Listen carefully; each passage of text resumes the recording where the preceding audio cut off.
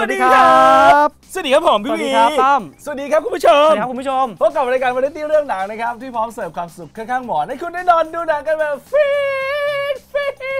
นกับรายการ นอนดูหนังรายการเราเนี่ยคือจะบอกว่าเอาหนังที่แบบอินเทรนด์หนังที่แบบกำลังจะเข้าโรงมา ซึ่งตอนนี้เนี่ยหนังที่กำลังจะเข้าและเป็นกระแสมากๆเลย นั่นก็คือเรื่อง The Purge ภาคใหม่ ออกแนวโรคจิตนิดนึงนะเพราะว่า The Purge มันว่าด้วยการฆ่ากันชำระล้าง มันจะว่าเป็นโรคจิตมันใช่เหรอเอออัอันนี้เดี๋ยวเราต้องมาคุยกันอืมเพราะมันคือเทศกาลหนึ่งที่ทางรัฐบาลเขาก็อนุญาตให้ทำกันได้อ่านั่นแหละน่าสนใจเป็นความโรคจิตยังไงนั่นแหละน่าสนใจนะครับจะจิตไม่จิตยังไงเนาะนะครับเดี๋ยววันนี้เราได้คุยกันแน่นอน เราไปพบกับช่วงนี้กันก่อนกับช่วง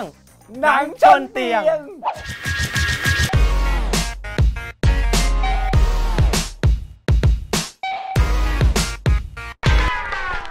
หนังใหม่ที่จะแนะนำวันนี้นะครับมีทั้งหมด 4 เรื่องด้วยกัน เออเรื่องแรกสี่รสกันเลยทีเดียว เรื่องแรกเป็นเรื่องที่ตามน่าจะโอ้โหแบบอยากเข้าไปอยู่ในหนังมาก ๆ เลยคือเรื่อง The Shallow ซึ่งว้าวเลื่อนมาจากสัปดาห์ก่อนเรื่องถัดมาเป็นหนังที่สร้างจากการ์ตูนญี่ปุ่นนะฮะอ่า ชื่อเรื่องว่า I Am a Hero โอ้เรื่องนี้อยากดูมาก มีอีกเรื่องหนึ่งแนะนำนะครับก็คือเรื่อง The Purge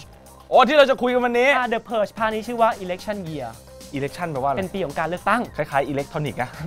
การเลือกตั้งคนละเรื่องกัน อ๋อ และเรื่องสุดท้ายนะครับที่จะแนะนำชื่อเรื่องว่า Fail มาเรื่องแรกเลยดีกว่า I am a hero อ่าครับผม 俺の名前は鈴木秀夫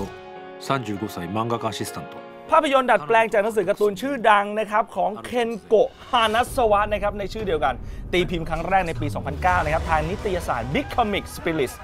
และหนังสือเคยคว้ารางวัลการ์ตูนแห่งปีนะครับโชกาคุคันมังงะอวอร์ดเมื่อปี 2013 มาแล้วด้วย และยังถูกนำไปแปลเป็นภาษาต่างๆ มากมาย รวมถึงภาษาไทยด้วยครับผม โดยสำนักพิมพ์สยามอินเตอร์คอมิก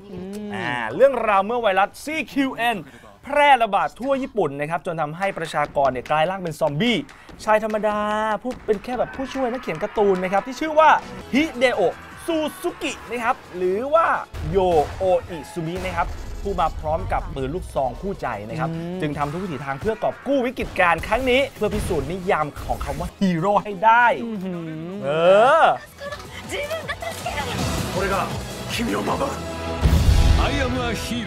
เรื่องที่ผมจะแนะนำวันนี้คือเรื่องเฟล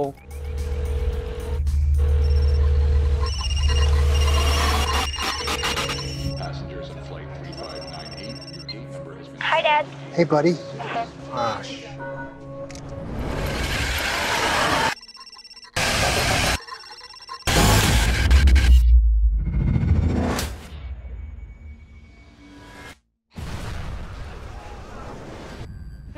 Right? It's gotta be terrorists. don't use your cell phone. เรื่องเซลล์เนี่ยว่าด้วยคลื่นโทรศัพท์ปริศนานะครับซึ่งเข้ามาทำลายล้างสมองมนุษย์ เปลี่ยนมนุษย์เหล่านั้นเนี่ยให้กลายเป็นบ้า ไล่ฆ่าฟันคนด้วยกันเองโดยเรื่องนี้เนี่ยนอกจากสตีเฟนคิงจะเป็นคนเขียนนิยายแล้วนะครับนักแสดงนำของเรื่องก็น่าสนใจ และที่สำคัญสตีเฟนคิงเนี่ยนะครับได้บอกว่าใครที่อ่านนิยายมาไม่ต้องตกใจว่าหนังมันจะเหมือนนิยาย หรือว่ารู้พล็อตเพราะว่าเขาได้เปลี่ยนตอนจบให้ต่างจากนิยายด้วยครับ of the earth. always conquers evil.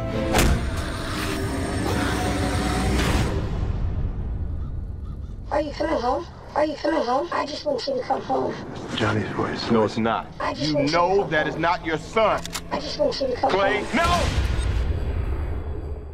ตอนนี้นะครับไปดู 5 อันดับหนังทำเงินกันก่อนครับผม อันดับที่ 5 Central Intelligence เป็นเรื่องราวของอดีตเด็กเฉิมที่โดนรังแก เติบโตมาเป็นเจ้าหน้าที่ CIA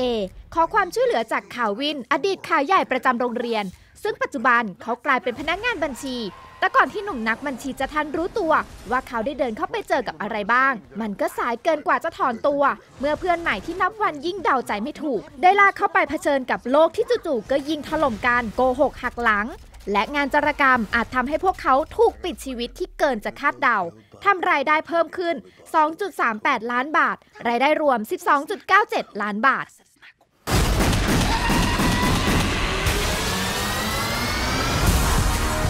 What does it say? It said it wants to hurt you. อันดับที่ 4 The Conjuring 2 คนเรียกผี 2 ภาพยนตร์แนวระทึกขวัญเหนือธรรมชาติ ที่ได้เจมส์วานมากำกับอีกครั้ง จากภาพยนตร์ที่สร้างสถิติความสำเร็จเรื่อง The Conjuring เพื่อถ่ายทอดเรื่องจริงอีกคดีหนึ่ง ของผู้เชี่ยวชาญด้านพูดผีปีศาจชื่อดังอย่างเอส และลอเรนวอร์เรนพวกเขาต้องทำหน้าที่นักสืบคดีเหนือธรรมชาติที่น่ากลัวสุดคดีหนึ่งของพวกเขา โดยต้องเดินทางไปทางตอนเหนือของลอนดอน เพื่อช่วยคุณแม่ท่านหนึ่งที่ต้องเลี้ยงลูกถึง 4 คนเพียงลำพัง ในบ้านที่เต็มไปด้วยวิญญาณร้ายทำรายได้เพิ่ม 3.03 ล้านบาท รายได้รวม 56.23 ล้านบาท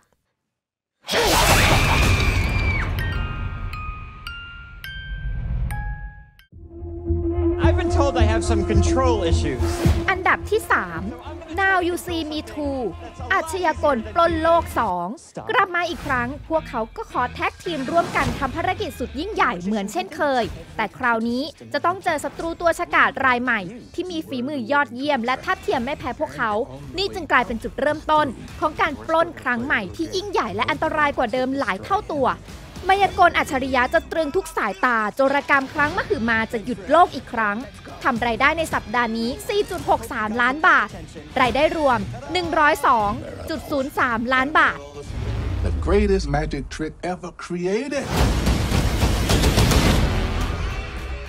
Today's the day. Our field trip to the Stingray Migration. Stingray migration. อันดับที่ 2 Finding Dolly ยังคงกระแสแรงอย่างต่อเนื่อง กับการผจญภัยของเจ้าดอลลี่ขี้ลืม เรื่องราวที่เกิดขึ้นหลังจากเหตุการณ์ในภาพยนตร์เรื่อง Finding Nemo ผ่านไป 6 เดือน ดอลลี่ ใช้ชีวิตอย่างสงบอยู่ท่ามกลางหมู่ปลาการ์ตูน หลังจากเธอออกเดินทางไปกับนีโม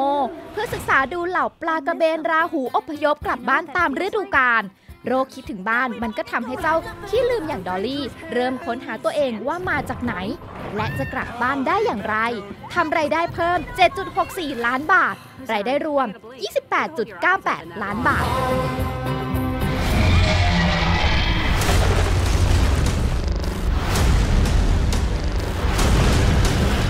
อันดับที่ 1 Independence Day Resurgence สงครามใหม่วันบทโลก Independence Day ได้ถูกนำกลับมาสร้างใหม่อีกครั้ง มหากาบครั้งใหม่นี้จะโชว์ให้เห็นความหายนะของโลกที่เกินกว่าจินตนาการได้ และการกลับมาของเหล่าบรรดาเอเลี่ยน พร้อมเทคโนโลยีที่ทันสมัยทำให้หลาย ๆ ชาติในโลกต้องร่วมมือกัน ช่วยหาวิธีปกป้องโลกจากหายนะครั้งนี้ แต่ก็ยังไม่มีอะไรที่สามารถจะป้องกันโลกจากเหล่าบรรดาเอเลี่ยนที่ร้ายกาจอย่างไม่เคยมีมาก่อนได้ จะมีเพียงมันสมองอันชันฉลาดของตัวเอกของเรื่องเพียงไม่กี่คนที่สามารถปกป้องโลกนี้ได้ ทำรายได้เปิดตัวไป 87.13 ล้านบาท They like to get the landmarks.